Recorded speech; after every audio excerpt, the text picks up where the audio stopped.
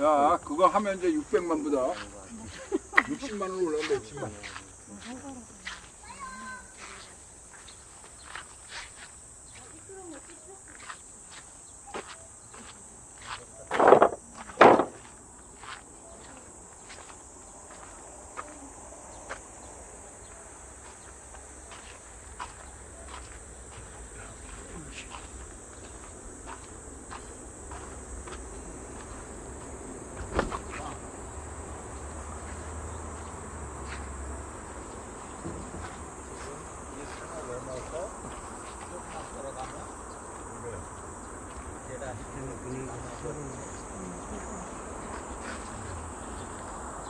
그래요?